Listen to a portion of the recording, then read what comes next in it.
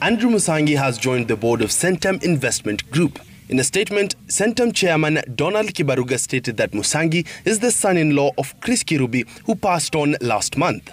He had been billed to join the board to replace Kirubi, who was among the largest shareholders of the listed investment group.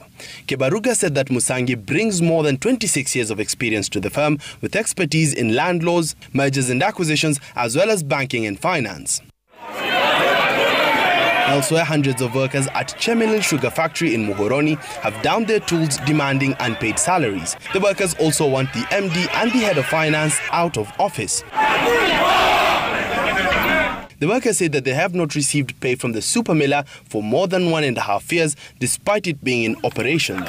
They want the mill's management to pay a portion of their overdue salaries to settle their rent arrears and school fees. We believe that auto pay. And finally, InterSwitch Group and K Unity Sacco have announced a strategic partnership that will allow more Sacco members to use digital cash transactions platforms to do mass payments for individuals and business accounts. InterSwitch has automated existing manual payment processes at K Unity, helping its members to carry out transactions digitally. Faisal Ahmed, Citizen TV, Nairobi.